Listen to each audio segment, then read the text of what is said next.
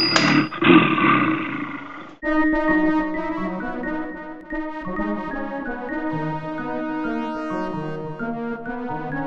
there, this is uh, the beer program, and uh, I just got a beer mail from the Cowbell. So Cowbell Brewing from uh, Blenheim, Ontario. I think I'm saying that right. Uh, so they have released the fourth beer in the Founder really, uh, if you haven't had any of the other beers, um, you gotta go pick them up. They they have been done as a really good beer and uh, I'm actually really excited to buy this one actually.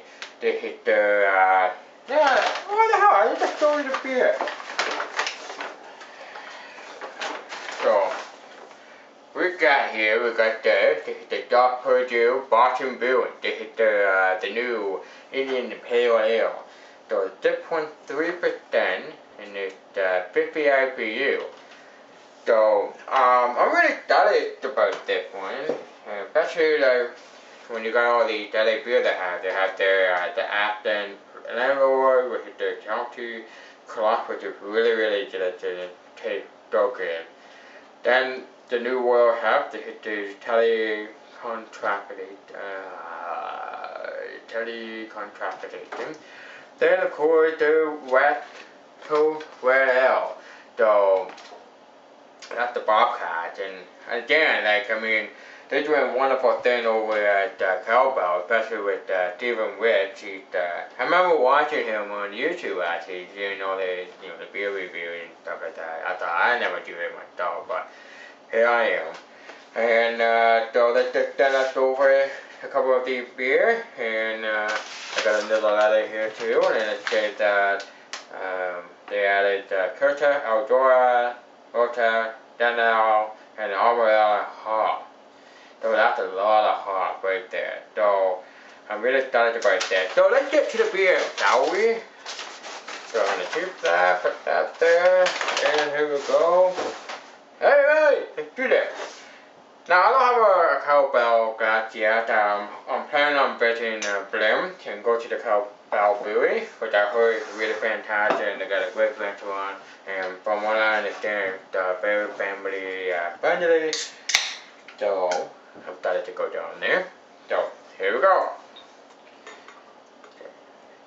Now I know Steven Red would like me to have some head, so I'm gonna do that. Oh, that filled up really nice. And that filled up this whole boy. So look at that. So, obviously, it's a lovely color right there. Uh, clearly lovely white head, lovely, and it's like almost uh, an orangey color, hazy, a little bit of carbonation going there, a lot of carbonation.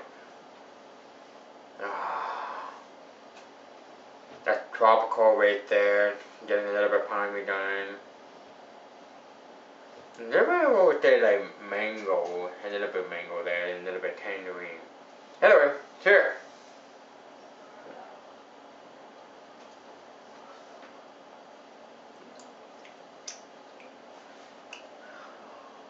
Hmm. Wow. Okay. Now I just know that they are hitting the LCBO. I should have read that before I did that. It's actually hitting the LCBO next week on September 4th, 2017. So you can actually buy this at the brewery right now if you live in Brantford nearby. So you can definitely get this in the LCBO. And I tell you, that is a hell of an IPA right there.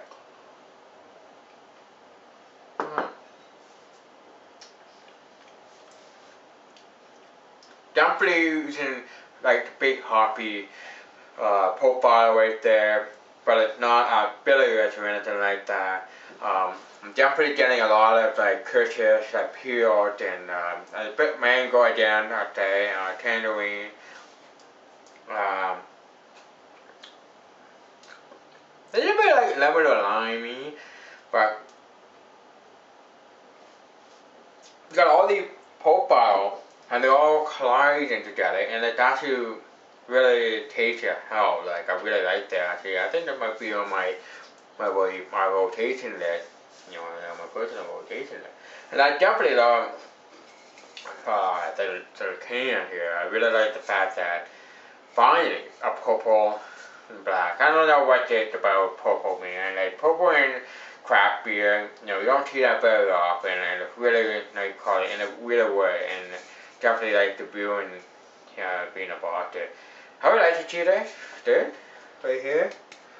Dude, uh, maybe a hoodie or something. That'd be nice.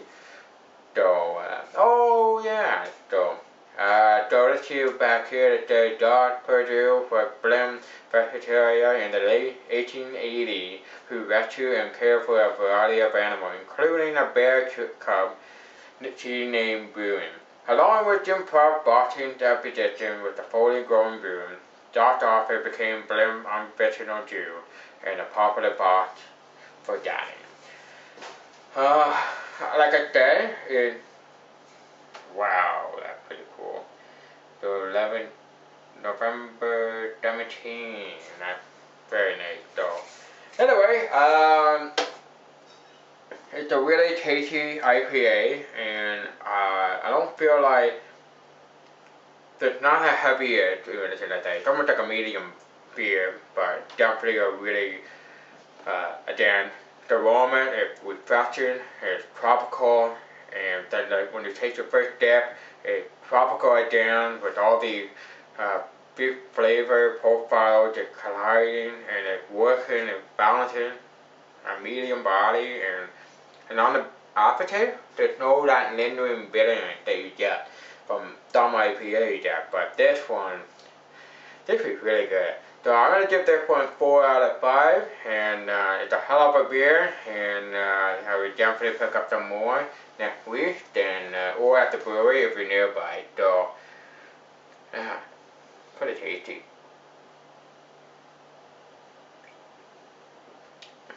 Ya.